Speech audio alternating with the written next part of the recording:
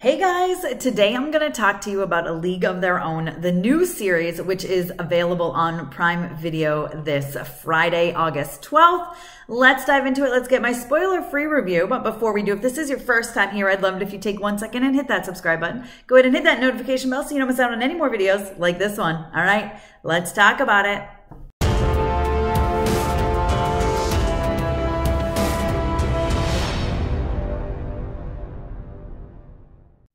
Okay, guys, so the A League of Their Own movie is one of my favorite films of all time. I think it was really important for women empowerment, uh, but the series is quite a bit different. Now, that's not to say it's not about female empowerment, because it definitely is, but it really relies heavily on LGBTQ plus rights, which I think is extremely important. And I'm so glad that they put this in there because honestly, it's a lot more accurate to what the world would have been at that time, um, what those people were going through at that time with the women, the men, everyone was going through. It's insane to think that it was not only looked down on, but like illegal to the point where you would get beaten up by cops and arrested just for liking someone of the same gender. They actually called them uh, sexual inverts at one point in the series. So yes, this is a series about baseball. It is about the Peaches, which yes, this is an entirely different group of Peaches. These are not the same characters at all. There's not one repeat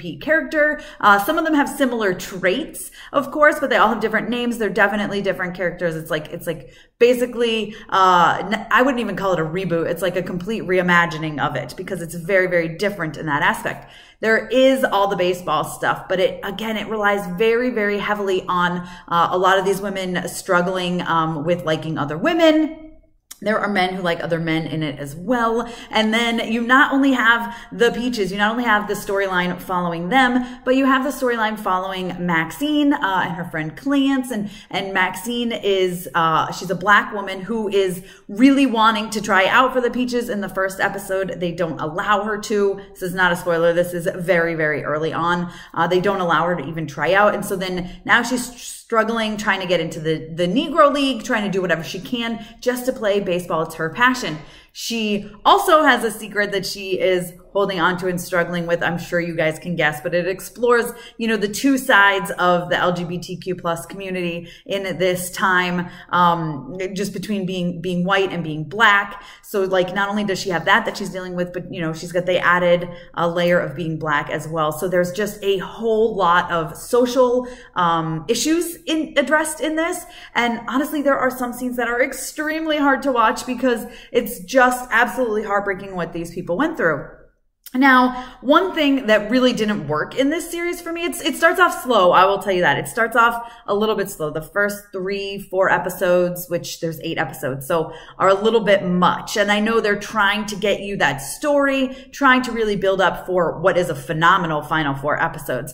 But it's really heavy and really dense at first. And there's just so much character development. There's like so many characters you have to get to know, which it can be a lot. Okay. And it, it takes a little bit to really get into it. But once you're into it, you guys, I promise you, episode three, four, five, six, seven, and eight is phenomenal. Leaves it on a massive cliffhanger where, uh, you know, the, just the, the stakes are higher. There's so much going on towards the end that you're just like, ah, it's so intense and it's so good. And there's just so much going on. Um, but again, there's just a lot of characters. That's one of the problems. It's a little bit slow. And then Nick Offerman plays the coach of the Rockford Peaches, and I adore Nick Offerman. And there's just one point, I can't even remember what episode it was, but he just like disappears. They give you a reason.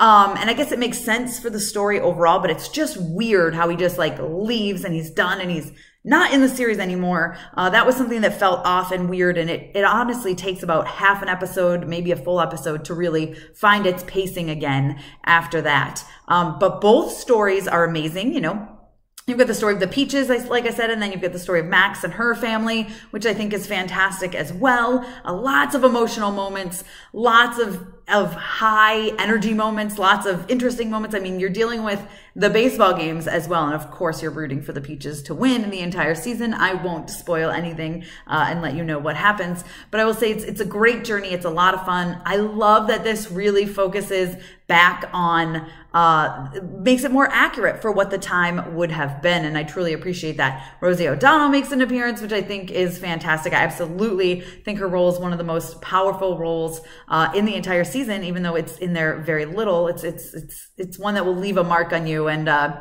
I want to stop rambling because I don't want to give any spoilers away, but all eight episodes drop on Prime Video August 12th, this Friday. And like I said, it relies very heavily, focuses very heavily on the LGBTQ plus aspect of the times. Yes, there's baseball. Yes, there's, there's a lot of fun stuff. Yes, there's a lot of callbacks to the movie. There's a lot of lines that they sneak in that are from the movie, which fans of the movie will be like, ah, I can't believe they said that. They said the thing, you know, that, ah, they said the thing. That, that's what they do. But I was very, very happy to see that. Uh, like I said, though, it really does uh, focus more accurately on what the times would have been. If you guys have seen this already, by the time you get to this review, let me know your thoughts on the League of Their Own series down below in the comments. Be sure to give me a thumbs up. Don't forget to subscribe. Hit that notification bell so you don't miss out on more videos like this one. You guys can follow me over on Instagram, Twitter, and yes, now TikTok. Mama's Geeky on all of those platforms. M A M A S G E E K Y. You can also check me out at Thanks, guys. I'll see you next time.